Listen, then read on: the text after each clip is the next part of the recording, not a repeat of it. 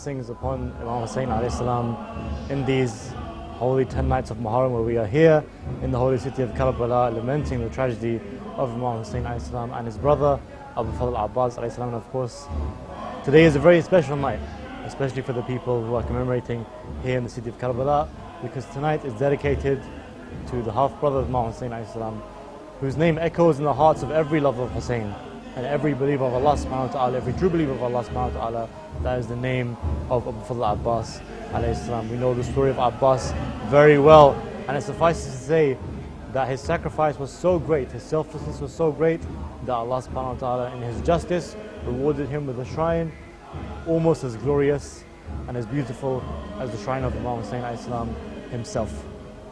And it is tonight where we remember the story of Abu Fadl Abbas, we remember the story of his sacrifice and his selflessness, but more so also while we remember it, while we lament for his, his tale, we also remember the epitome, the morals that he, the, the, the, the epitome of moral that he was, and the lessons that he left behind for us to follow.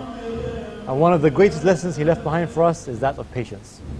So today, inshallah, we're going to be tackling the topic of patience, the idea of patience, uh, and how we can ensure that in our lives continuously and throughout every, our daily lives we can hold on to patience. As we know, life is very hard. While we try our best to ascribe to patience, sometimes we falter, sometimes we're not able to be patient enough as Allah subhanahu wa ta'ala wants us to be. So inshallah today in this discussion with Sayyid Ali uh, Nawab, we shall be looking at patience and asking ourselves just how we can really hold firm onto patience the same way that Fadl Abbas himself held on to patience. Sayyid Ali, salam alaikum. Salaam alaikum wa rahmatullah. Thank you so much for joining us once again. Thank you. Um, so if you can, if we can start off this uh, segment just by telling us what exactly is patience in terms of the Islamic definition of patience, sabr. What is it? What does it mean? Ahsan. Bismillah ar-Rahman ar-Rahim. Uh, dear viewers uh, and uh, visitors of the uh, Master of Martyrs Abi Abdullah al-Hussein alayhi salam, welcome to the land of Karbala. And tonight inshallah we will uh, focus on the issue of patience, sabr, and the lessons we can take to actually implement uh, sabr and patience into our lives. Because life without patience is not worthy of living. And Islamically um, patience has been described for uh, occasions where one is saddened or goes through a tragedy and needs to practice a certain uh, way of life or a certain lifestyle so he, he is able to go through that tragedy and that patience or sometimes something harmful. He goes through something that will harm him either physically or mentally, internally. Um, so here it is said that if he is able to refrain himself from entering into that harmful exercise or that harmful substance, then that is called patience. To keep himself away, to refrain himself from doing that harmful act. So these things all prevent this person who is able to become patient to um, to stop him from falling into sins because all types of patience protects mankind from falling into sins Allah subhanahu wa ta'ala in the Holy Quran in description of those who are able to be patient and exercise sabr. He says, Bismillah ar-Rahman ar-Rahim, وبشر الصابرين ال إن uh, وبشر الصابرين الذين إذا أصابتهم مصيبة Note here the word مصيبة, tragedy has been used. وبشر الصابرين and give glad tidings to those who are patient when they fall into a tragedy الذين إذا أصابتهم مصيبة قالوا they say they give acknowledgement إنا لله وإنا إليه راجعون that we are from Allah subhanahu wa ta'ala we belong to Allah subhanahu wa ta'ala and to him we shall return and this is the spoken words of the mu'mineen the believers because at times we see the non-believers they are not able to practice patience and they fall into different problems, problem after problem, and tragedy after tragedy, musibah after musibah. Why? For the sole reason that they were not able to be patient in their lives. At times, we fall into petty things. Allah subhanahu wa ta'ala is testing us continuously. There isn't a day that goes through our lives in which Allah subhanahu wa ta'ala is not testing Bani Adam. Allah continuously says, O mankind, O Bani Adam, I have created you لِنَبْلُوَكُمْ to test you, to put you in a state of bala. And, and the result, أَيُّكُمْ أَحْسَنُ عَمَلًا At the end, we want to see which one of you is able to present their actions in the best of ways, in the best of forms. So, وَبَشِّرِ الصَّابِرِينَ الذين إذا أصابتهم مصيبة قالوا إنا لله وإنا إليه راجعون in بحار الأنوار which carries the traditions and ahadith of Ahlul Bayt in regards with patience there is a very beautiful narration that says النصر مع الصبر victory comes as a result of patience now at times that victory may be if you yourself you're fighting with the devil or you are fighting with the nafs al-lawama or you are fighting against the corruption that you see around you if you become patient in facing those problems you will receive victory you will be victorious والفرج مع الكرب and then وإن مع العسر يسرا again another portion in the Holy Quran فإن مع العسر يسرا Inna ma'al usri yusra. Allah subhanahu wa ta'ala repeats this sentence, this, this phrase and this paragraph in the Holy Quran to ensure that mankind know that at times you feel that you're in trouble, you're in pain, you're in difficulty. Allah has brought down His bala upon you. Do not neglect the fact that Allah subhanahu wa ta'ala after every misery, after every trouble, after every test, He will reward you with yusr, with ease, as a result of your patience. And that, at the end, shows how strong the intellect is. Quwwatul aql. If the mind and the intellect is strong, you will be able to see that someone is patient against tests and, and imtihanat. One thing it makes me think of when you think about how close patience is related to faith and how close the two are related to intellect. Because if we use the intellect, we understand that if we look at life not just in the context of our own lives, but life in the context of an afterlife as well. And the fact that the afterlife is the real life. It sounds very simple to say.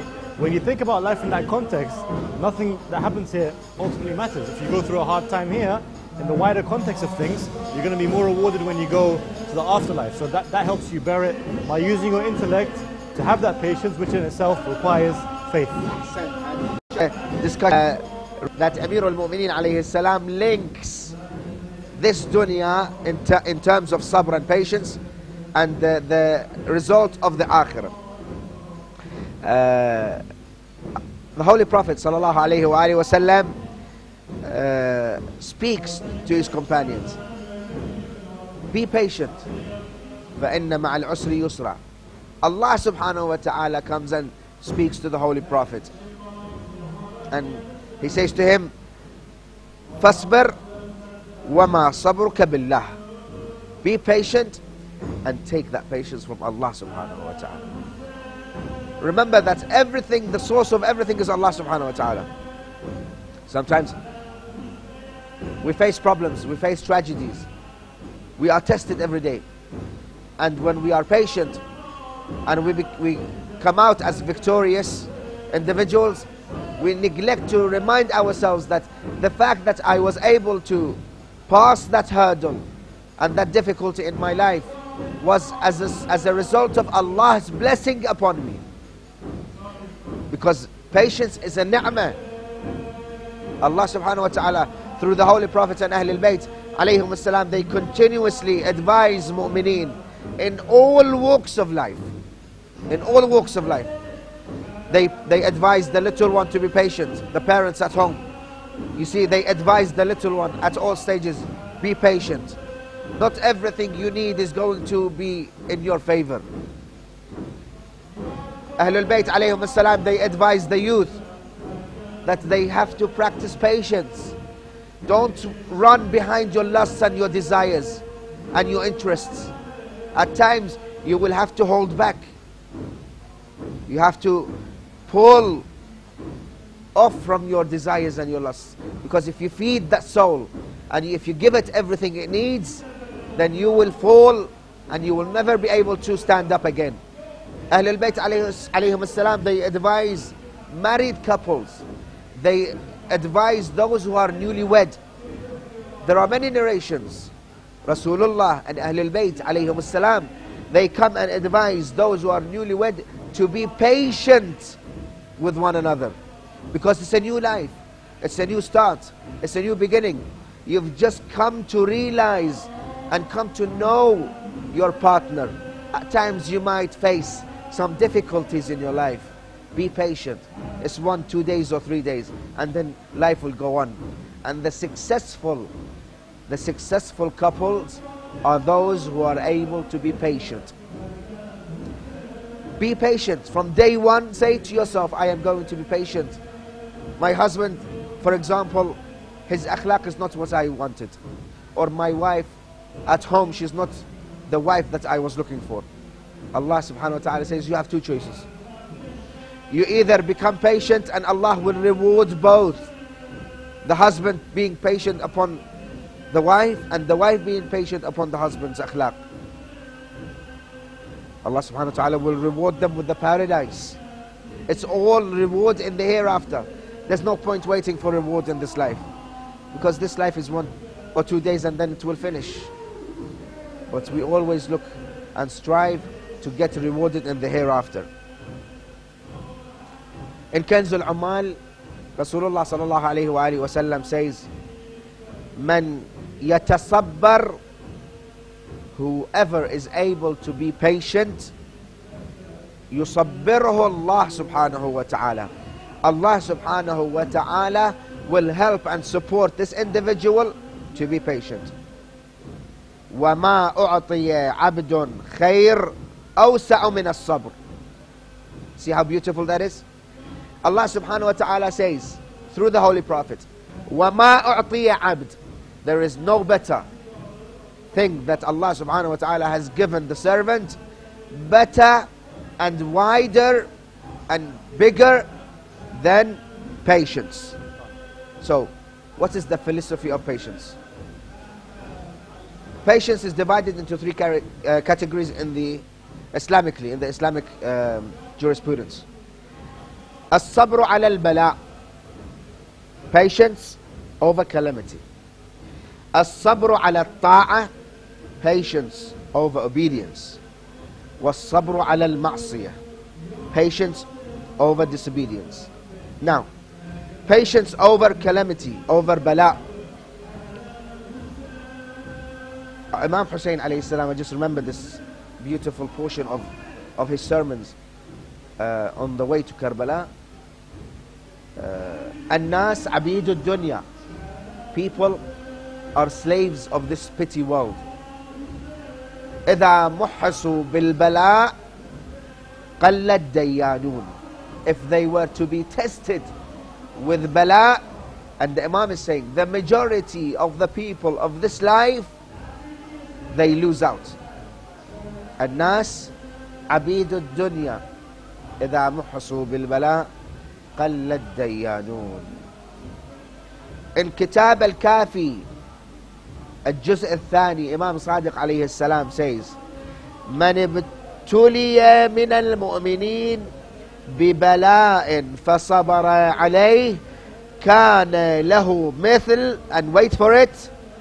Imam Sadiq عليه السلام says from the mu'mineen from the believers and the faithful, those who are practicing their lives and they're practicing their deen and their religion according to the school of thought of Ahlul Bayt alayhi salam, especially those youth, the shabab, because the West and the media and the different tides of uh, problems emotionally, physically, mentally are all directed towards the youth.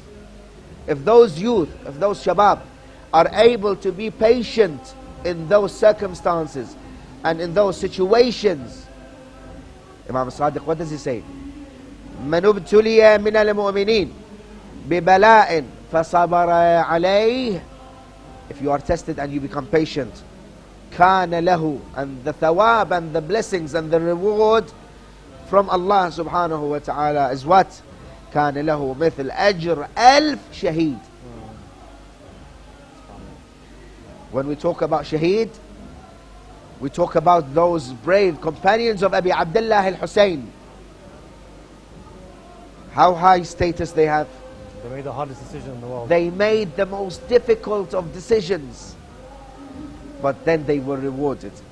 Those youth, the mu'mineen, the shabab, our brothers and sisters, if they hold back and they become patient in times of masa'ib, in times where the shaitan and the devil and the people around you and surrounding you are doing their best to drag you down in, in terms of akhlaq and ethics and moral, in, in terms of hijab and modesty and protecting your existence as a Muslim, as a Muslimah, eh, carrying the banner of Islam, carrying the banner of Abi Abdullah al Hussein, which was the banner of reform.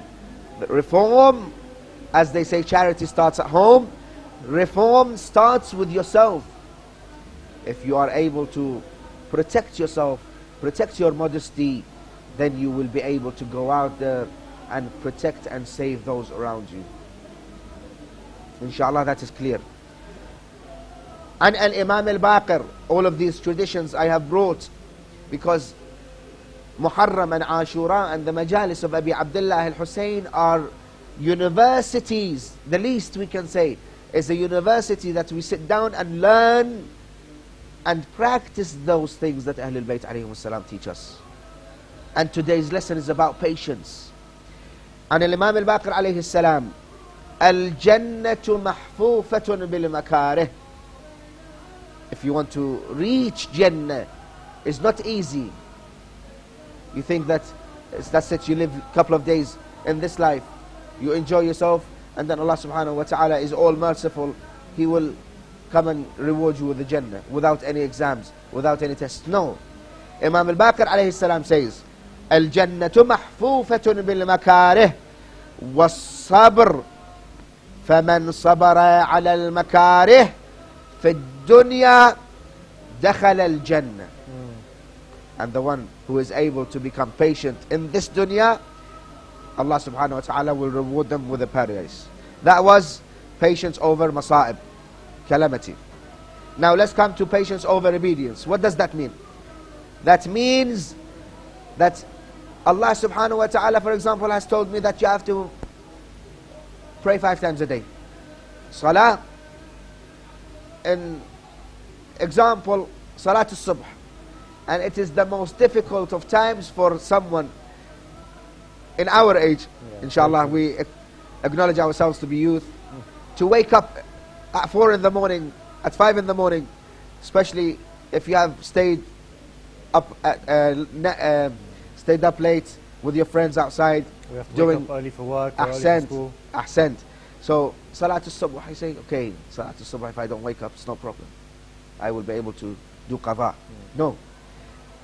Patience over obedience is that Allah subhanahu wa ta'ala says, if you want to show me obedience, you show me obedience in your salah, in your sawm, in your ibadat, in your akhlaq. Hmm. Wake up for Salat al-Subh, you're showing obedience to Allah subhanahu wa ta'ala. Hmm. You have been patient. Why? Because you are depriving yourself from that cozy bed, from sleeping, and you're saying, Oh Allah, because I want to show my obedience to you, I have woken up to pray. Patience over fasting.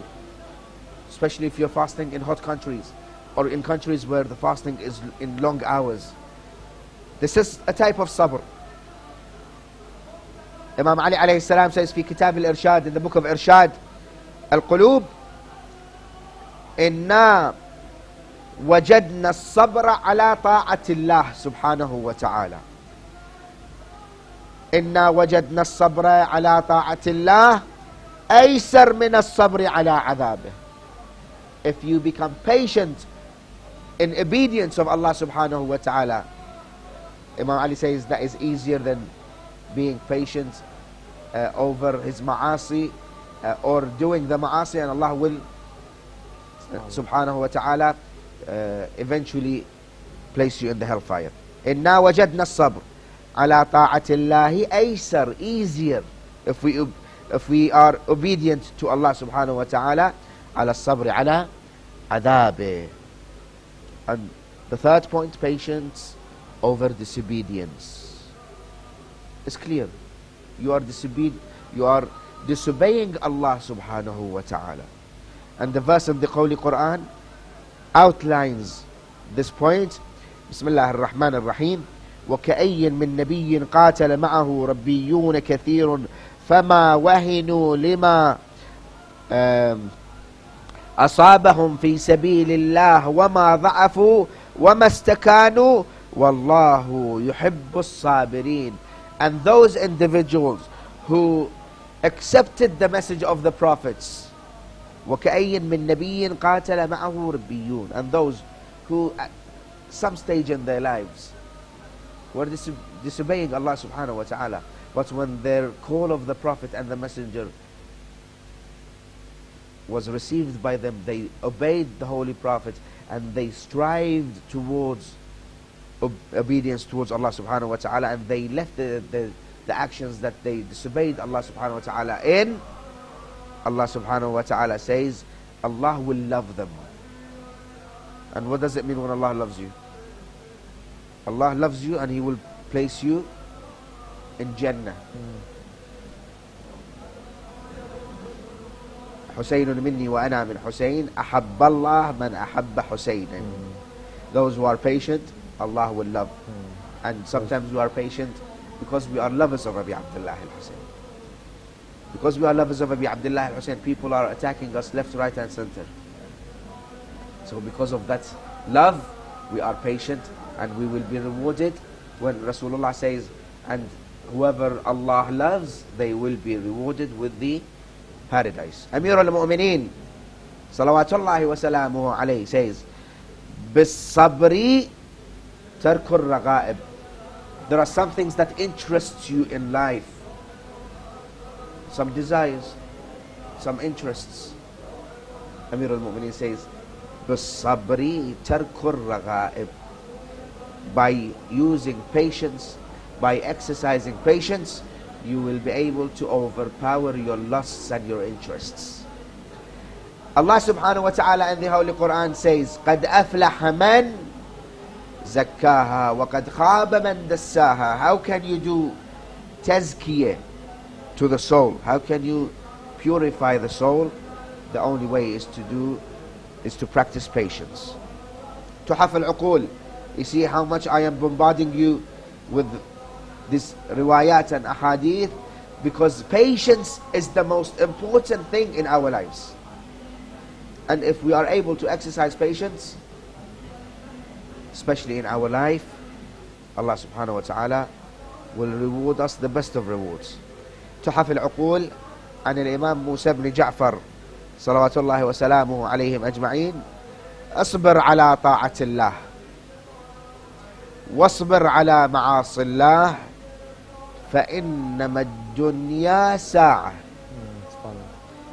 If you want to calculate and draw a comparison between the time you spend on earth in this life and the time in the hereafter, the time you spend on earth is not even equivalent to one hour of and the that life. back to what I was saying about thinking about life in context and the afterlife as well. Ahsant. And Sayyidi, we have about 15 minutes left, inshallah. So if you can conclude this, um, you mentioned some amazing points about patience. and I'm very, very inspired, and I hope that, inshallah, as I mentioned when I when we began this series, I hope that each and every single one of us, when we come uh, to the mourning of Imam Hussein Islam uh, for the 10 days of Muharram, one thing that we can try to do is take something that we need to improve on in our lives and try and aim towards that over the course of the 40 days, that is from the 1st of Muharram till the Arba'in of Imam Hussein Islam.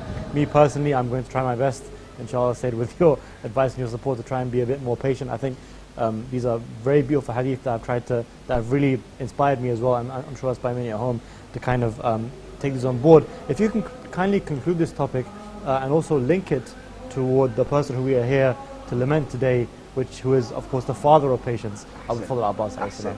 Just to conclude with a with a, um, a, a riwayah or a hadith, Imam Hussein alayhi salam in the books of Maqatil, he says, um, it it is recorded that Imam Hussein after praying Salat al-Subh, إن الحسين صلى بأصحابه الغداة صلاة الصبح ثم التفت إليهم he looked at his companions فقال إن الله قد أذن في قتلكم فعليكم بالصبر subhanahu wa ta'ala has given us permission to go and fight for his cause. The only thing that Imam advises his companions is patience.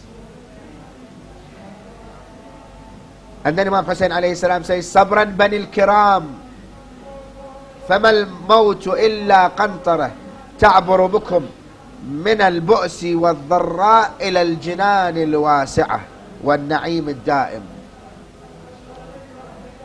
أبي الفضل العباس One of the ulama was saying that Abil Fadl al-Abbas he reached a level of Ainul Yaqeen. Ainul Yaqeen means there are times where you don't see the yaqeen or you don't see that thing but you have yaqeen that it exists. And there is Ainul Yaqeen, is that you have yaqeen and then you see that thing which adds to that yaqeen. Amir al-Mu'minin alayhi salam says, لو كشف لي الغطاء ما ازددت يقينا. عن أبي أبي أبي الفضل العباس is the son of Ali ibn Abi Talib صلوات الله وسلامه عليه. Lady Zainab is described in the ziyarah as Jabal al-Sabr. Abu al-Fadl al-Abbas when you read his ziyarah what do you say?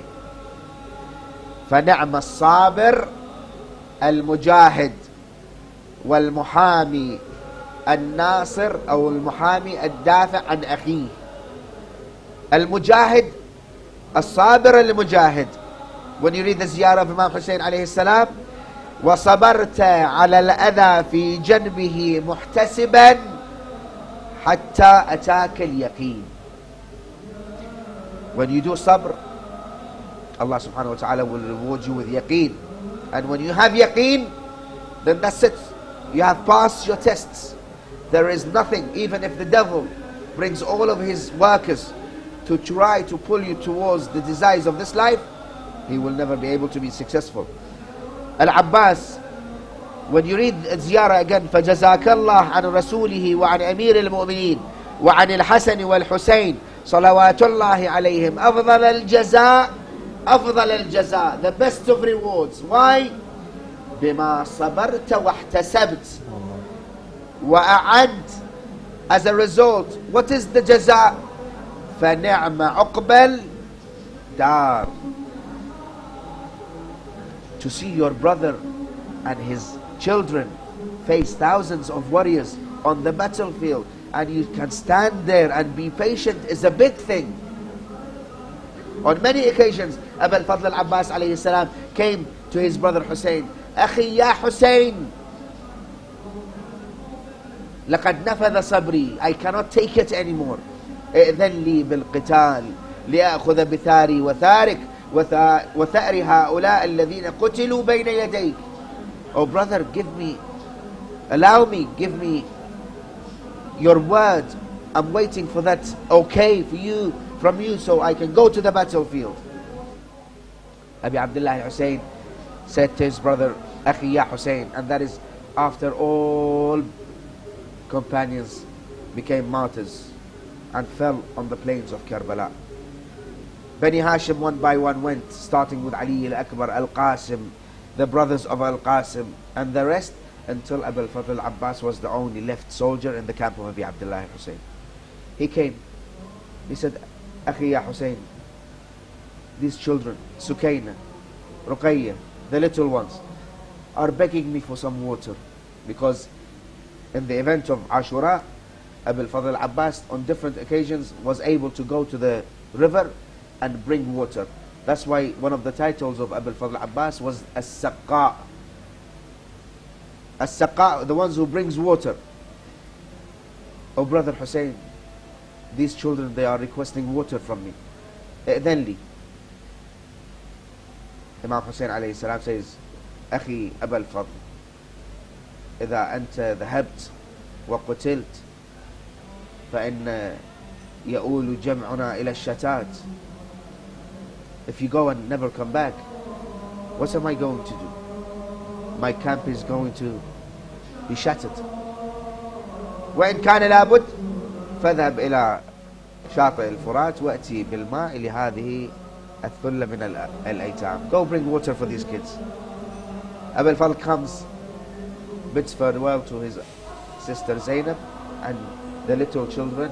And Abi Abdullah al-Hussein hugs. It is narrated that Abi Abdullah and Abu al-Fadl hugged each other and they cried for a long time. احتضن أخاه وبكيا ساعة because I think they both knew Abu Abdullah and Abu al-Fadl they both knew that this is the last time they are going to be able to see each other in that state and then Abi Abu al-Fadl Abbas rides on his horse and charges towards the Furat it is narrated that Umar ibn Sa'ad had placed 4,000 soldiers on the banks of the Furat Abu al-Fadl being the brave warrior and the son of Ali ibn Abi Talib was able to access the Furat he entered the Furat he took وأخذ غرفة من الماء brought it next to him he looked at the water and he started reciting these pieces of poetry. يا نفس من بعد الحسين هوني وبعده لا كنت أو تكوني هذا حسين وارد المنون وتشربين باردا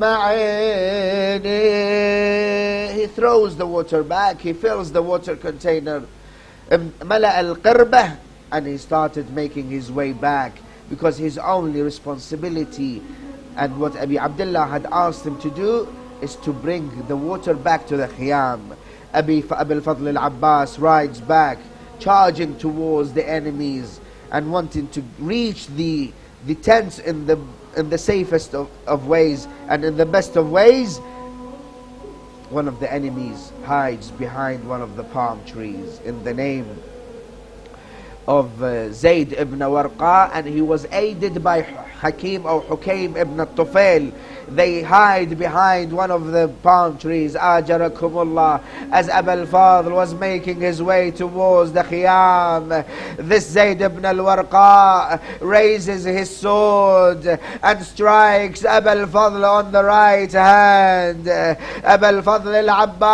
al-Abbas starts saying Wallah إن قطعتم يميني إني أحامي أبدا عن ديني وعن إمام صادق اليقين نجل النبي الطاهر الأمين Abu Fadl takes the sword in his left hand and charges towards the tents Hakim ibn Tufail hides behind another tree raises his sword and strikes it on the left hand of Abu Fadil.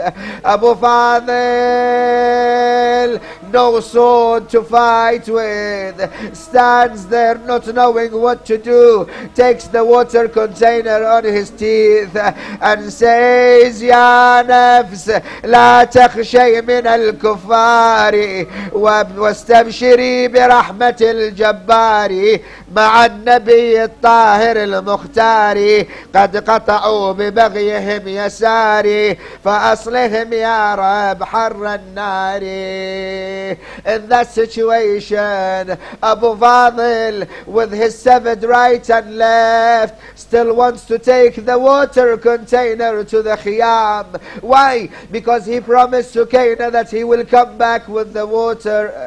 Here the enemies, they didn't know what to do. Umar ibn Sa'ad says, if a single drop of that water reaches the tents, then Abu Abdullah al-Hussein is going to wipe all of you from the face of this earth. Do whatever it takes. The enemies of Allah, they started hitting Abu Fadil with stones and rocks. Some of them, they started showering Abu Fadil with their arrows. One of the arrows pierced the water container. Abu Fadil noticed the water is dispersing. Here he stood there, no arms to fight with, no water to be taken to the tents. In that situation, one of the enemies came and struck one of the arrows to the right eye of Abu Fadil. Abu Fadil's eye started bleeding heavily. Another enemy came and struck Abu Fadil with a metal arrow, with a metal stick on the head of Abu Fadil. Abu Fadil falls to the ground. It was then that he heard them the mother of Abi Abdullah, Fatima al-Zahra, calling out, Waladi Abbas, wa waladah, wa Abbasa. Here Abu Fadil says, I called out, wa akha, wa Husayna. Abu Abdullah charges towards the enemies, killing Ibn Tufail and arrives at the body of Abu Fadil. He was holding one, one hand on his back. Abu Fadil Fadil, Abu Fadil's head is bleeding heavily. Imam Hussein comes towards Abu Fadil. Abu Fadil says, أقسم عليك بالله يا هذا because he didn't know who's coming and arriving at his side. Abu Abdullah says, I heard my brother say, يا هذا أقسم عليك أن تمهلني هنيئة until my brother Hussein comes and I bid him farewell. Imam Hussein says, أنا أخوك أنا أخاك الحسين He takes the head of Abu Fadil, place it in his lap. Abu Fadil takes his head and places it back on the ground. He does that three times. Abu Abdullah says, أخي يا أبا الفضل Why do you take your head out of my lap? Abu Fadil says, أخي يا Hussein Now you put my head in your lap. But an hour later, who is going to put your head in their lap? Abu Abdullah makes his way back to the tent. How is he going to tell Lady Zainab that Abu Fadil has been killed, has been martyred? The only way he was able to inform the family and little Sakina was he came to the tent of Abu Fadil. He came, he went inside the Khaymah. He took the pillar of the Khaymah and he pulled the pillar. The tent of Abu Fadil came down to the ground. It was then that Lady Zainab strikes her head and shouted, Wa Akha, Wa Abbas, ya, ya, Khoya, Khoya. ما انت اللي جبتني وبيدك يا خويا ركبتني brother Abbas you was the one that brought me from Medina to Karbala come back and take me back to the land of my grandfather Rasulullah صلى الله عليك يا أبا الفضل العباس صلى الله عليك يا ساقي عطاشا كربلاء صلى الله عليك يا حامل اللواء We send our peace and blessings upon Abdullah Abbas Islam and his brother Imam Hussein Islam on this uh, tragic night where we are lamenting Abdullah Abbas. And as we know, Abu Fadl is meant to be a door to wishes. You can see his beautiful, glorious shrine behind me. And we pray, inshallah, that Abdullah Abbas we pray that Abdullah Abbas, through the intercession, that Allah subhanahu wa ta'ala, through the intercession of Abdullah Abbas, Islam, grants all of our wishes, removes all of our hardships, and gives us the patience to bear any calamities that may come our way, inshallah. Inshallah, we'll be joined uh, by Sayyid Ali Hakim. After the break, we'll be reciting some beautiful love for us, inshallah. We'll see you then. Assalamu alaikum wa rahmatullah wa barakatuh.